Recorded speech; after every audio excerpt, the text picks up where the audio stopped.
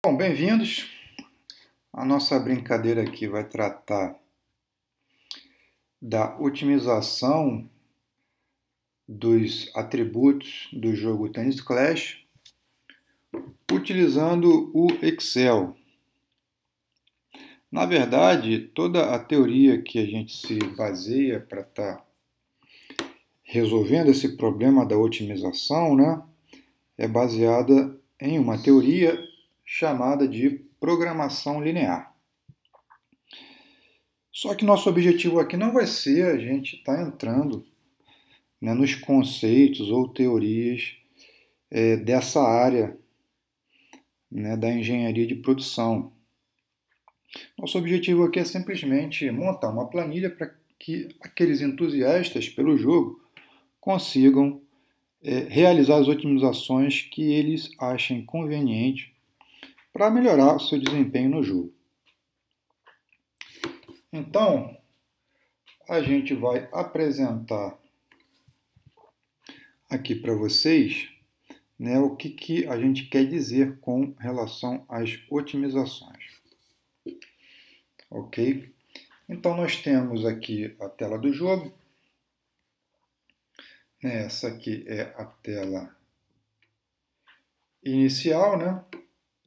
Então, a gente acessa aqui os recursos do jogo. Então a gente observa que para cada um dos recursos, né, temos aí é, a raquete, o cabo da raquete, o sapato, a munhequeira, né, temos também recursos de nutrição e exercícios, né. Para cada um desses recursos a gente, a gente tem é, pontuações né, é, dos atributos. Né? Então a, a águia tem é, 4 de velocidade, com 29 de backhand, e por, de forehand, aliás, e por aí vai. Né? E a gente tem ainda a possibilidade de estar tá melhorando esses atributos, né? É, comprando essas melhorias através do dinheiro que a gente vai ganhando ao longo aí dos jogos. Só que a gente entra num problema que a gente tem muitas vezes é, diversos atributos, né, diversas possibilidades de melhoria, e a gente não sabe a melhor forma de investir o dinheiro que a gente tem no jogo. Né? Na verdade, a gente quer tornar o, o jogador com o potencial máximo dele, dado os recursos que são limitados, tá certo? Então acaba se tornando um problema até relativamente complexo né, quando a gente tem essa situação, né, que são é, diversas possibilidades de melhoria, que no caso são 25 possibilidades de melhoria, né, para esse nosso recurso. Como investir melhor esse nosso recurso, né, para tornar o jogador o mais forte é, em termos de habilidades, né, é, o possível com esse dinheiro. Então aí, para resolver esse problema, a gente montou aqui uma planilha do Excel, né? E nessa planilha a gente lista todos esses atributos, né? Então aqui, indo para a raquete, a gente tem aqui o atributo, tem aqui a raquete águia, né? E a gente vai definindo aqui é, os valores né, obtidos por essa raquete. Né, quando eu tenho aqui é, outra raquete patriota, eu listo ela aqui também e vou colocando os atributos dela. Né, e faço isso para todas as raquetes. Legal, quando eu tenho uma, uma melhoria a fazer, como aqui no caso da raquete águia, então, eu, para poder selecionar eventualmente essa raquete melhorada, então eu vou listar ela aqui novamente né, e vou colocar o valor dessa aquisição aqui nessa linha aqui que eu chamei de grana, né, dinheiro, enfim. Vocês observem aqui que na coluna é, vertical a gente tem é, todos os atributos né? É, que são considerados no jogo, né? Que é a agilidade, a resistência, o saque, o voleio, forehand, backhand.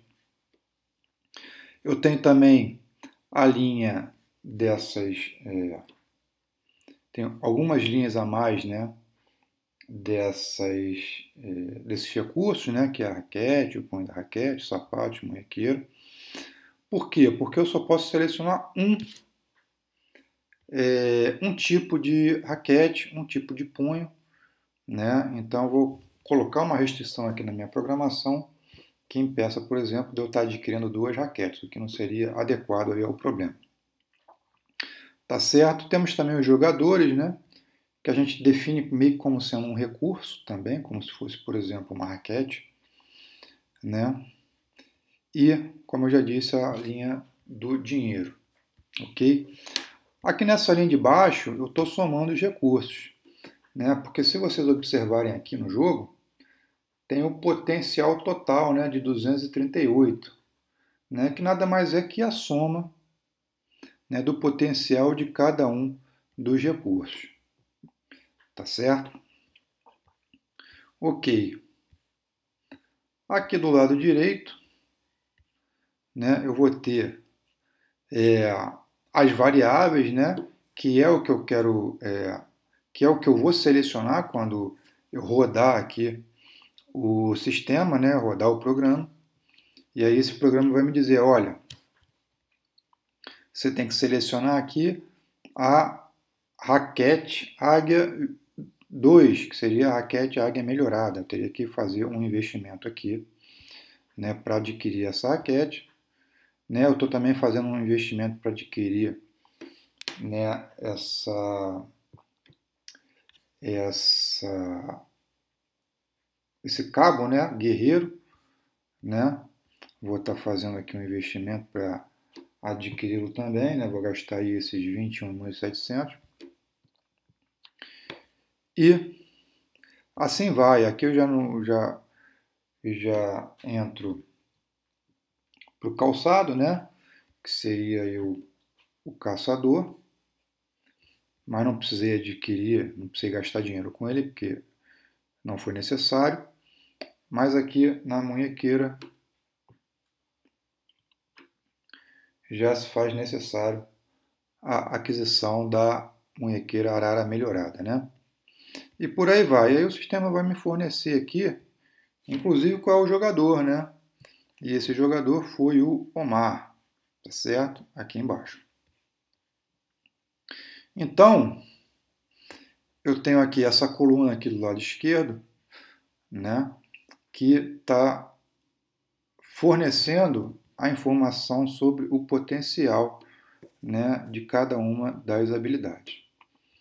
Tá legal?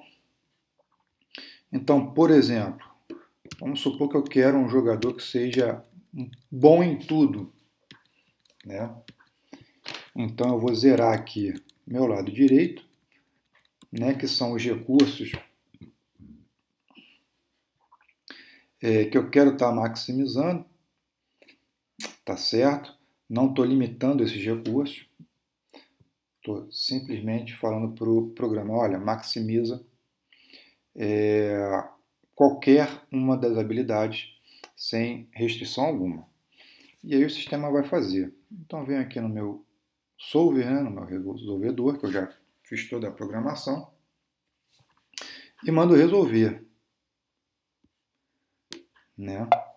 E aí o solver resolveu e me forneceu essa configuração, né? que é um jogador, entre aspas, completo. Né? É como se fosse um Roger Federer dentro daqueles recursos que eu tenho disponível, tá certo?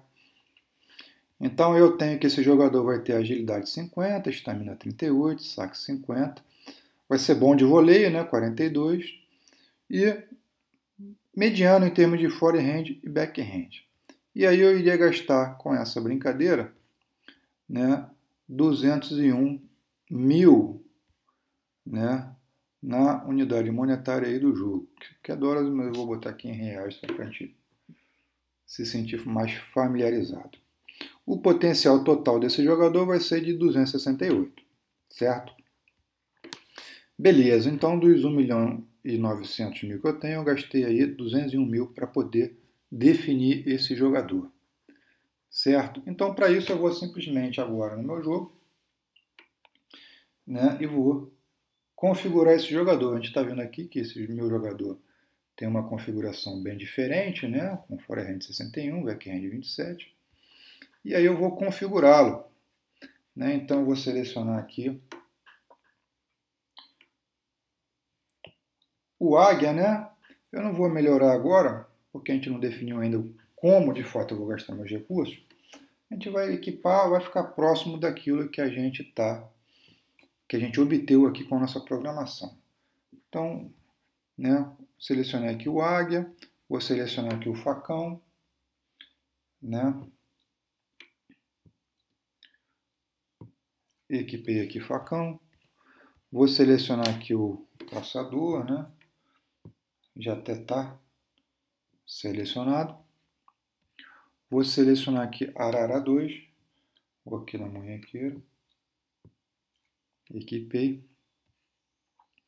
Vou pegar aqui Vegano 2 na, na dieta dele, né? Equipei.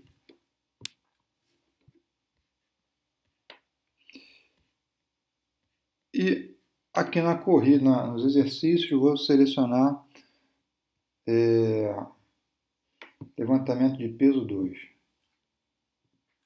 Equipei também. E por último, no jogador, que vai ser a Hope.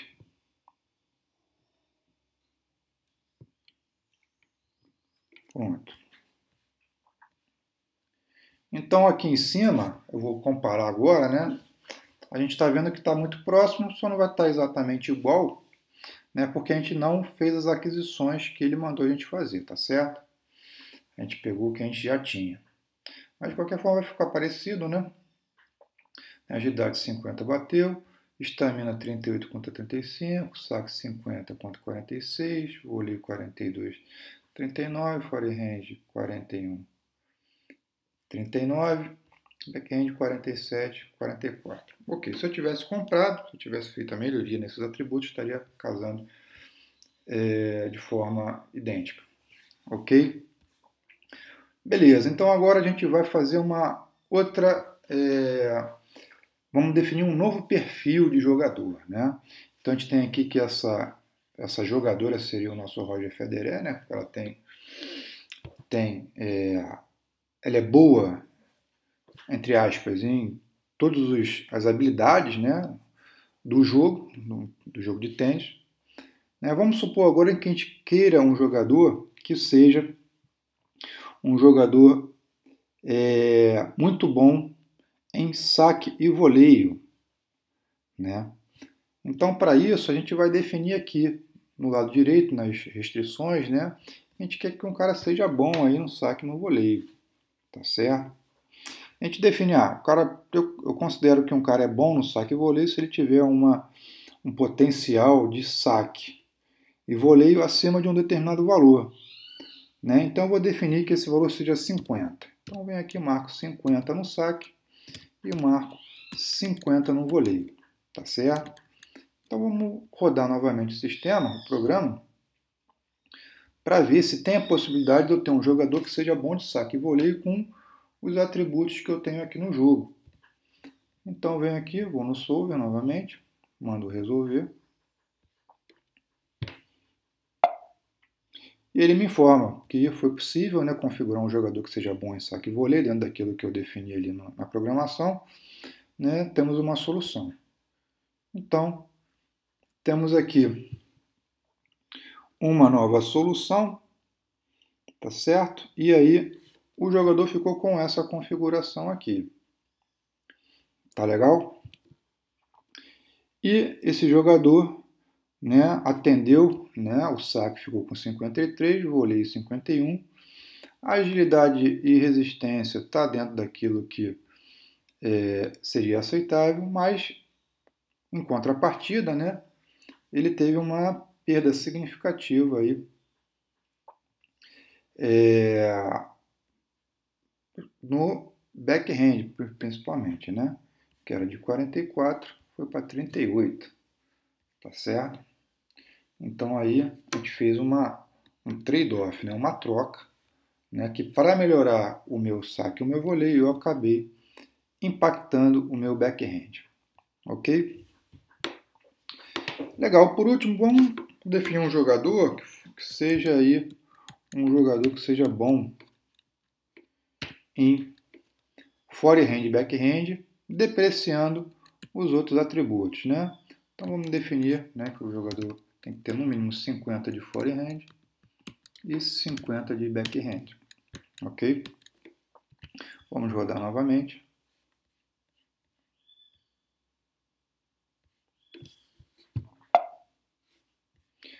Encontrou uma solução, né? E está aí a configuração. É, observem é, o, que o potencial vai mudando, né?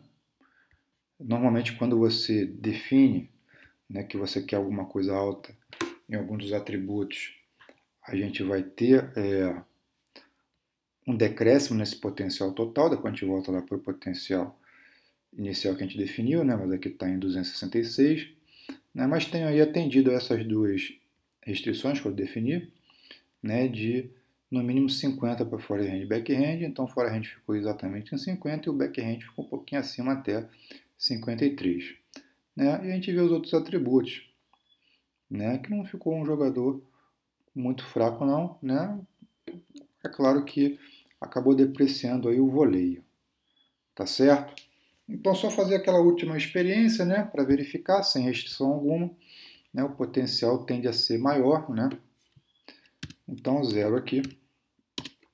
Está em 266 com essa configuração. Vou resolver novamente.